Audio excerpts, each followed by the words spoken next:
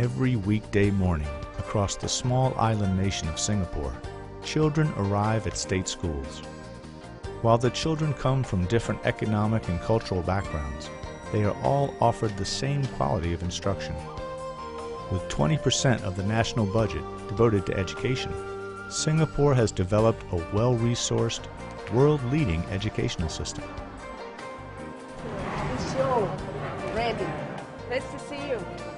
With the world becoming much smaller and more globally competitive, we are looking at what's going on in education throughout the globe and to see where things are being done well and what we can replicate in the United States. Looking at the PISA results, you see certain countries who outcompete America. Countries like Finland and Ontario, Canada, and countries like Singapore, where we are in right now.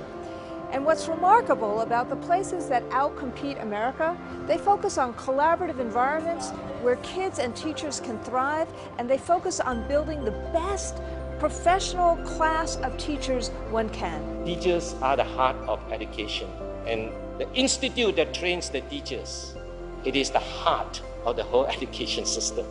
The National Institute of Education trains all teachers in the Singapore school system top performing students are selected for specific subjects and teaching positions and are given a rigorous 21st century training to prepare them for a lifelong career. We are always open to look at new areas, new domains with the total ultimate focus is how do we prepare a better teacher such that he or she can bring the best education to the students in the classroom.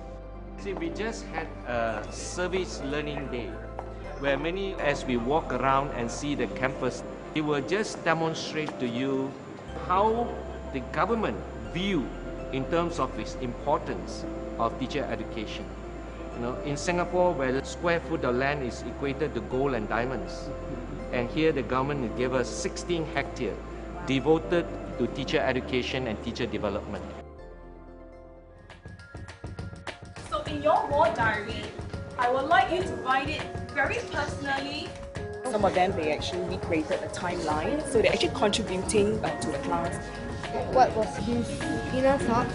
Mm-hmm. So you're really trying to get his perspective of what he was thinking about? Yeah. Wow, that's fantastic. Kids in this school are joyful. They like being here. But equally important is what the teachers are doing. In every classroom we go into, teachers can explain what they're doing, why they're doing it, and the connection between what they're doing and the learning that kids are accomplishing. What if we have one bar that is longer? What does it mean? And in seeing the math classes, we're starting to see a really interesting pedagogical method. It's about visualization as opposed to memorization, and about kids actually engaging in creating blocks to see what's more and what's less. They've actually um, just figured out that the bars are relative to each other, so they are not absolute. You also see as part of this a real um, focus on language immersion um, so that kids are understanding what more than means, what fewer than means, things like that. In Singapore, there is a recognition that post-secondary education is important for all students, not only the top performers.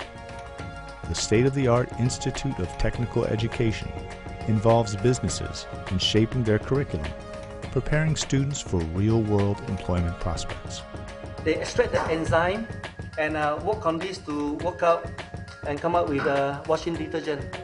And they pick up some basic skills either in enterprise or entrepreneurship.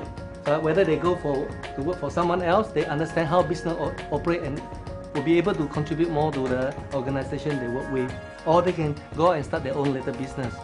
You see a place that is focused on commerce, a place that is very entrepreneurial, a place that is very focused on work and a work ethic. The chef will go to the customer's house to prepare the food for them so that it's more fresh. So basically, if I wanted to have a party, I only had to make one phone call, right? Yeah. And you do everything? Yeah, and it's 24 awesome. hours. To meet you. I'm Randi. Nice to see you. Japanese It's great to be here. Good morning, teachers. at the Tampines School. We've just spent several hours looking and watching an amazing educational environment. The Excel program every Tuesday, once a term. So they're learning how to use Excel? Yes. The education is engaging, where technology is infused as a tool in education, and where teachers are constantly working with each other. We're just so happy to be here to see and to watch how you're creating that engagement and that love of learning and that sense of kids becoming resilient and confident and caring and passionate and, and, and um, learners, and that's fantastic. So thank you. There is collaboration, there's trust, there's sharing. You didn't hear one teacher talk about test-based accountability. You didn't hear one principal talk about test-based accountability, and you didn't see any fixation in terms of testing. Do you see a school system that's focused on collaboration and trust?